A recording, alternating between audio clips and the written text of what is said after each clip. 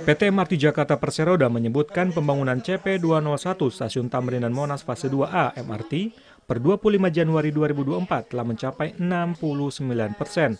Hal itu disampaikan oleh Direktur Utama PT MRT Jakarta, Tuhiyat, dalam Forum Jurnalis MRT di Jakarta, Selasa 20 Februari.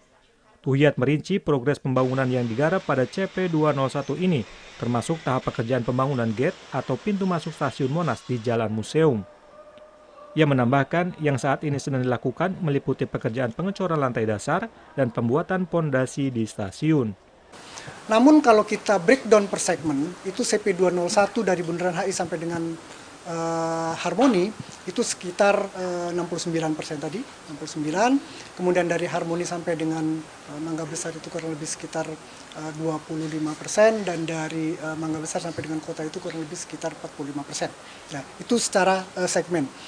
Kemudian ditambahkan tunnel yang membentang tersambung dari Bundaran HI itu sudah sampai nyambung ke arah Harmoni, baik kiri maupun kanannya. Fase 2A MRT Jakarta ini menghubungkan stasiun Bundaran HI hingga kota sepanjang 6 km.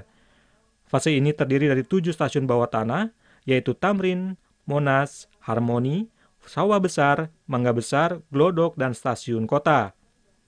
Ditargetkan segmen Bundaran HI Harmoni selesai pada 2027 dan segmen Harmoni Kota ditargetkan rampung pada 2029.